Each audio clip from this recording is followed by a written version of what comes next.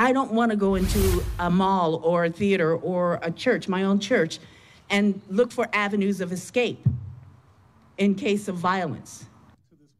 New at noon, a coalition of faith based leaders is pushing for new gun legislation to take to Oregon voters for their consideration next year. Fox 12's Deborah Gill is in Northeast Portland with more on their latest steps forward. Pastors, a rabbi, and other supporters gathered here at Augustana Lutheran Church to announce the filing of two new initiative petitions aimed at stopping gun violence.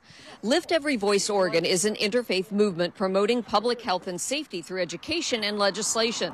Today, the group filed two initiative petitions with Oregon Secretary of State for the 2022 general election. One is to ban the sale of assault style weapons. The other would ban the sale of large capacity magazines along with a background check and require a permit to buy a gun.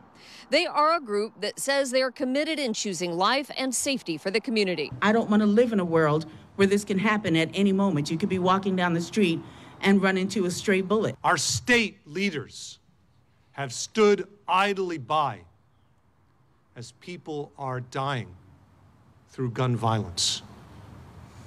Now it is time for the people's voice. Because gun violence is a public health crisis.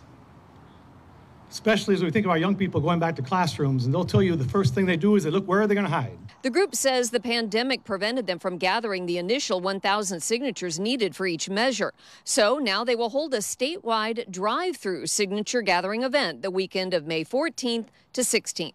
They'll post on their website, lifteveryvoiceoregon.com, where those drive through sites will be located. In Northeast Portland, Deborah Gill, Fox 12 Oregon.